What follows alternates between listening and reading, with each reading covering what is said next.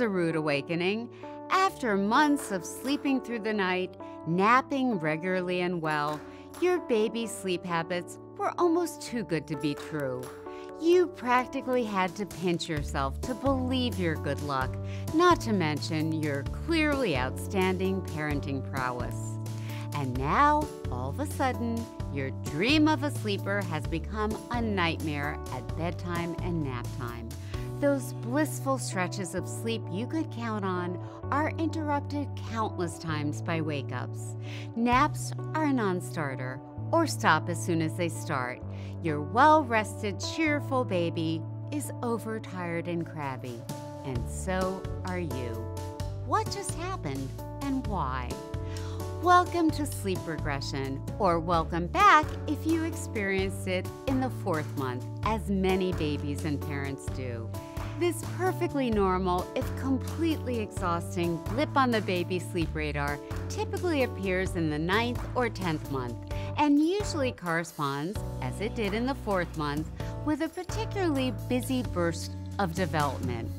Babies often start waking during the night or having a hard time settling down for sleep when they're on the cusp of reaching a new milestone or have just mastered a new skill, like pulling up or crawling, or even just being able to get from their tummies, an easy flip, into a sitting position.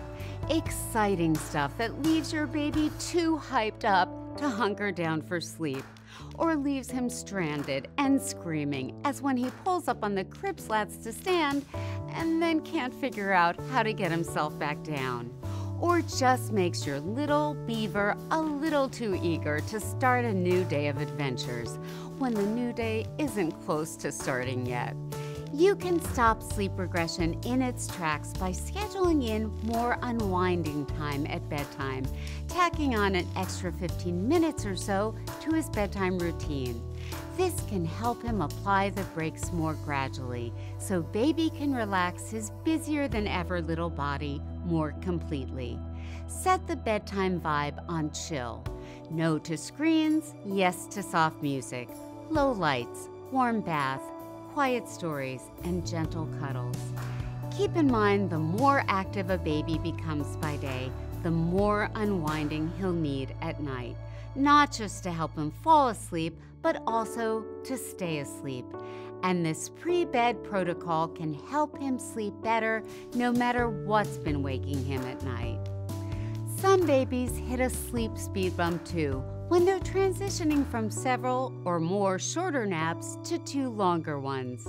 Get enough sleep by day will help your little one sleep better at night, but getting too much nap time or nap time that's too close to bedtime can make falling and staying asleep a losing battle. For the win win, catch sleepy cues at nap and bedtime before your baby crosses that line to overtired and overwired use wind down steps at nap times too. As always, for better Z's, remember the C word consistency.